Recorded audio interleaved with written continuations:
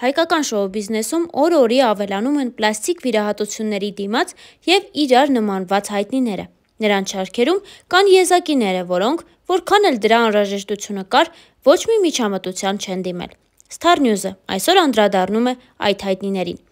Շուշաննա Թովմասյանը դեռ պատանեկության տարիներին հայտնվեց հայտնի հեռուստասերիալներից մեկում։ Նրա արտաքին տեսքի վերաբերյալ շատ քննարկումներ ու քննադատություններ եղան։ Սակայն դերասանուհին, որքան էլ ոճափոխությունների դիմեց, մազերի կամ հագուստի տեսքով, միևնույն է, չկորցրեց իր բնական գեղեցկությունը։ Ներկայացնում ենք վերջին շրջանի դերասանուհու լուսանկարներից մի քանիսը։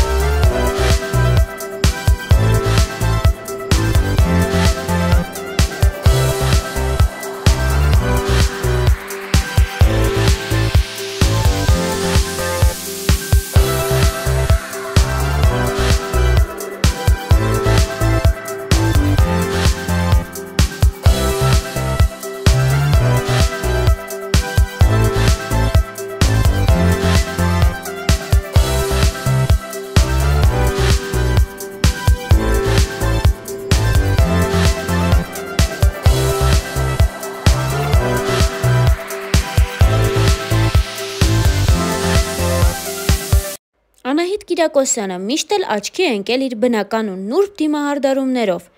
Եթե նույնիսկ հիշենք նրան բանակում հեռուստասերիալից, ոչ մի առանձնահատուկ փոփոխություն չենք նկատի։